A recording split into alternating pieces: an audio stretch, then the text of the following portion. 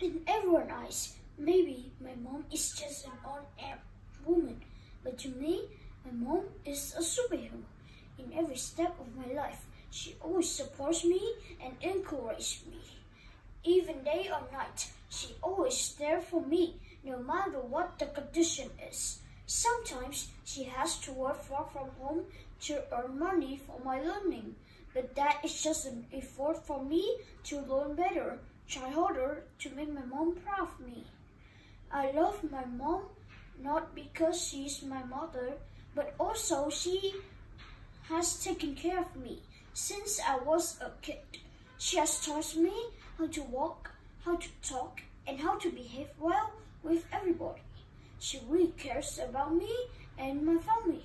The way she cares for me and my family inspires me the same way in the future.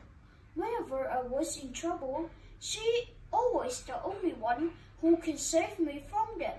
She helps me from the smallest thing to the much bigger thing.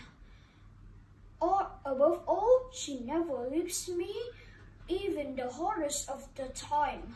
Every mom are special for their children. She taken care of us and the whole family.